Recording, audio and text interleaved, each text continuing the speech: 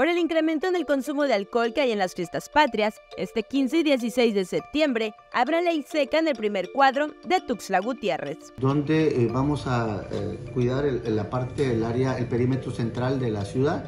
Estamos hablando que eh, estaremos de la tercera norte a la tercera sur, cubriendo y de la cuarta poniente a la quinta, de la cuarta poniente a la quinta oriente vamos a, aplicar la ley seca, lo que corresponde a los días 14 eh, a partir de las 6 de la tarde, 14 de septiembre a partir de las 6 de la tarde y eh, hasta el 16.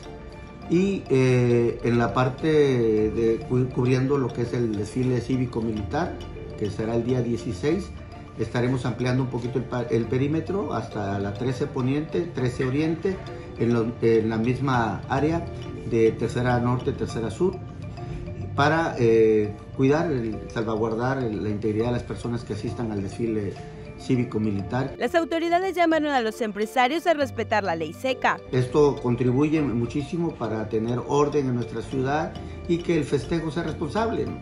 aquí aprovechar a la ciudadanía invitándoles a, a un consumo responsable, si hay que salir que sea con responsabilidad. Para Alerta Chiapas, Rubí Zúñiga.